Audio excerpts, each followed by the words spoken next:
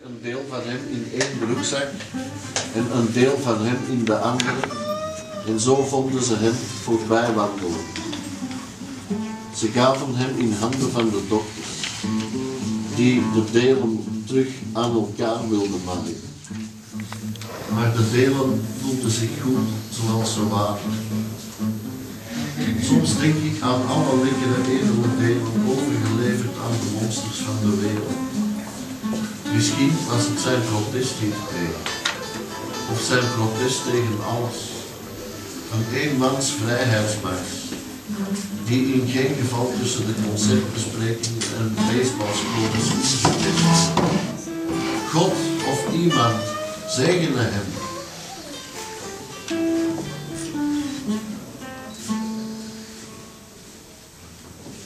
Twee buiten terwijl beenderen breken in mijn keuken. Ze klimmen het dak van hun garage op, beide 80 of 90 jaar oud, staan op de helling.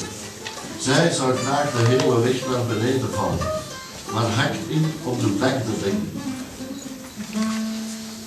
Met een schof.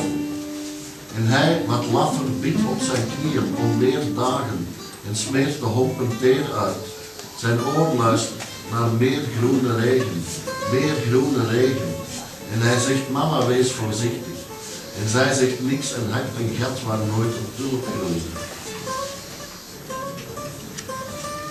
Blauwe kralen en beenderen. Laten we drinken op de verdwaalden terwijl de orchidee sterft en het gras krankzinnig wordt. Ik kwam een oude man tegen en een vermoeide prostituee in een bar om acht uur s morgens tegenover MacArthur Park.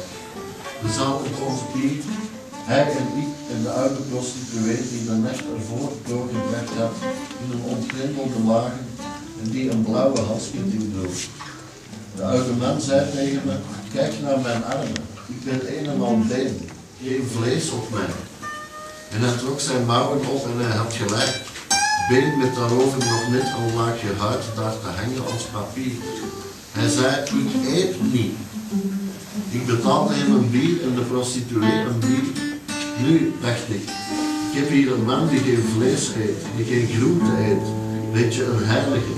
Het voelde als een kerk daarbinnen, zoals enkel de waarlijk verdwaalden in baars kunnen zitten op dinsdagmorgen om 8 uur. Toen zei de prostituee, Jezus, als ik geen klant heb vanavond,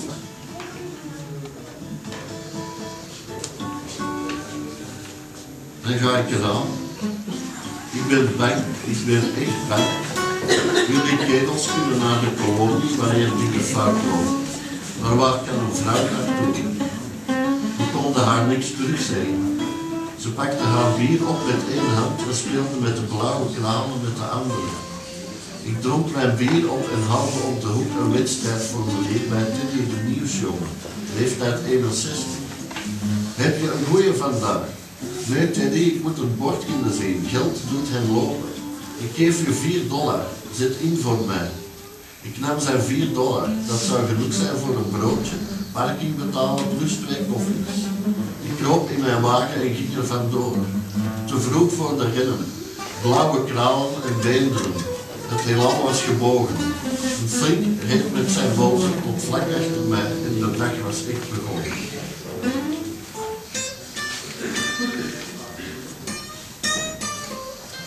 De hele tijd soms ben je zo alleen dat het net zinvol wordt. Gokken op de muze. De mensen zien er eindelijk uit als bloemen. Het belangrijkste is hoe goed je door het vuur loopt. De laatste nacht op aarde gedichten. Speel dronken op de piano tot je vingers een beetje beginnen te bloeden. Bengelen in de tropenboom. Spotvogel, wens me geluk.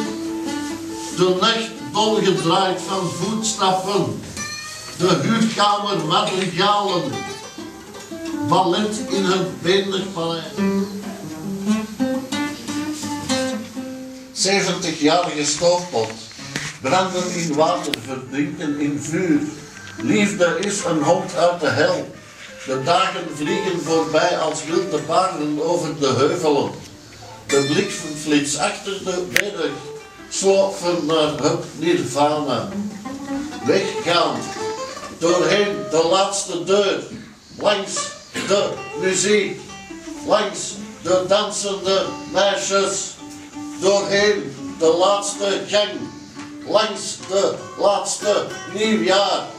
En de laatste Boeddha, langs heen de vlucht van de kolibrie, langs heen de laatste kus, de laatste vloed en stroom, de laatste nieuwe dag, de laatste slaap bij nacht, de laatste zoete sinaasappel, de laatste oorlog voorbij, het laatste